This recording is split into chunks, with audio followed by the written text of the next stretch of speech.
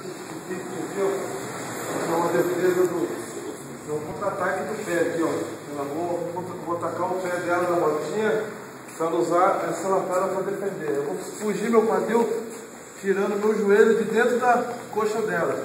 Vou matar atrás do tríceps, vou encostar o meu joelho na axila dela e vou passar a perna, vou pintar agora.